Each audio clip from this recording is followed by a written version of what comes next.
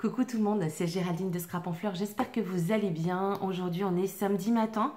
Alors, il est un petit peu tôt, mais vous, quand vous aurez cette vidéo, euh, ça, ce sera une heure normale. Euh, juste ce petit rajout de vidéo concernant le grand tuto que j'ai fait. Euh, ça m'a un petit peu tracassé. Je vous en parlais dans le tuto qu'il y avait peut-être éventuellement une combine pour, pour essayer de faire quelque chose de grand avec la plastifieuse A4. Et puis, j'ai pas eu le temps de m'en occuper cette semaine. Et donc, j'ai commencé à avoir déjà des commentaires hier soir. Et puis, d'autres que j'ai vu bien sûr ce matin de bonne heure. Et euh, je me suis dit non mais là faut que tu testes parce que euh, les filles qui vont le faire en A4, ça va vraiment faire un tout petit truc et bah ça va pas être aussi pratique que ce que tu as là. Donc essaye de voir si ton astuce, euh, enfin en tout cas l'astuce auquel tu pensais fonctionne. Donc je m'y suis attelée ce matin. Donc je vous rappelle que ça c'est le grand format. Donc hop, on va le mettre comme ça. Et regardez ce que j'ai fait donc avec la plastifieuse ce matin. Alors oui, il est dans l'autre sens. De toute façon, on ne peut pas faire autrement. Mais euh, sinon, ça ne passerait pas dans la plastifieuse. Mais voilà ce qu'on peut faire avec simplement deux feuilles de papier A4 que l'on vient souder donc par le centre. Alors, on se retrouve avec quelque chose qui doit faire 27 par 21, je crois. Alors, attendez, je vérifie parce que du coup, j'ai fait ça vraiment mais à l'arrache ce matin. Et euh, voilà, concrètement, le papier fait 27 donc par 21 cm. Avec celui-là, j'ai décidé de faire une tranche de 3 parce que je savais vraiment pas trop ce que j'allais en faire. C'était vraiment histoire de vous tourner, euh, enfin de faire le test pour vous et de vous tourner la vidéo. Donc vous voyez, ça reste quand même relativement cool en sachant qu'on est, on sera un tout petit peu plus large que celui que j'ai fait moi avec la plastifieuse à 3. Mais par contre, on sera un petit peu plus court. Attendez, si je vous mets dans ce sens-là, ce sera mieux. On sera un petit peu plus court. Mais d'un autre côté, ce qu'on perd ici, on va le récupérer euh, quasiment ici. Donc je pense que c'est une bonne alternative à toutes celles qui ont la plastifieuse A3. Donc pour faire ça, c'est euh, pour celles qui ont la plastifieuse A4, pardon, autant pour moi. Pour faire ça, c'est ultra simple. Alors, je vous invite par contre à mettre euh, du scotch, éventuellement du... Euh, du, zut, du scotch de travaux là pour, pour tenir. Je vais vous expliquer, ce sera mieux. En fait, il vous suffit de prendre deux pochettes à plastifier. Voilà, donc je vous rappelle que mon papier ici fait 27 cm par 21 cm. Hein, donc c'est un papier 30-30.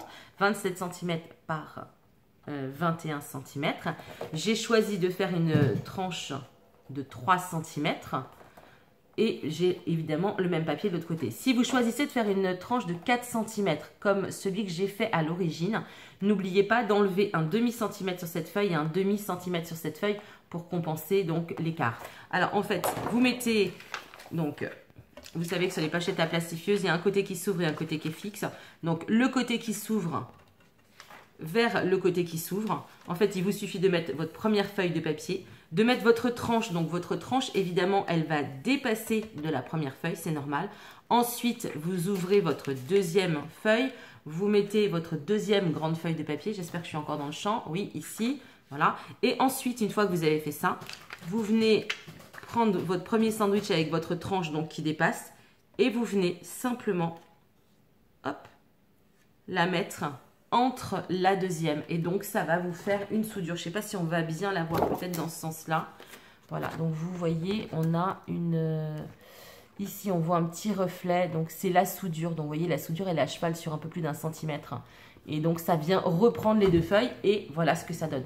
Donc, euh, je pense que c'est euh, vraiment l'idéal hein, pour toutes celles qui ont la plastifieuse à 4 et qui veulent vraiment avoir un grand rangement. C'est ce qui va vous aider le mieux. Donc, comme je vous disais, euh, de la passer dans la plastifieuse dans le sens opposé au pli. C'est-à-dire que si vous la passez euh, comme ça, ici, ça va venir se plier. Si vous la passez dans l'autre sens, ça va vraiment euh, passer par-dessus et il n'y aura pas d'incidence. Par contre, fixez bien éventuellement avec deux petits morceaux de scotch pour que ça ne bouge pas quand ça va passer dans la plastifieuse parce que moi j'ai pourtant été vigilante. Bon c'est vrai que je l'ai fait un petit peu à l'arrache.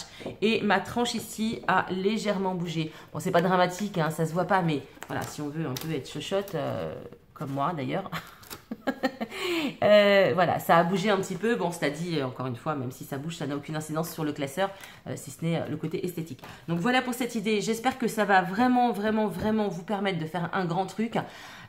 Dites-moi en commentaire si cette astuce vous a été utile. En attendant, prenez soin de vous. Je vous souhaite un très bon week-end. Ciao